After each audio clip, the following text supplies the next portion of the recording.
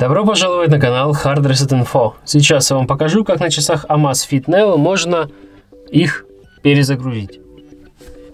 Делается это довольно просто. Зажимаем клавишу Select. Часы выключились. И чтобы включить, снова зажимаем клавишу Select.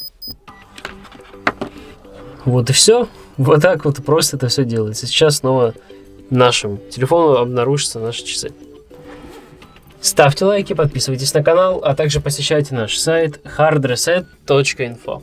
До скорых встреч!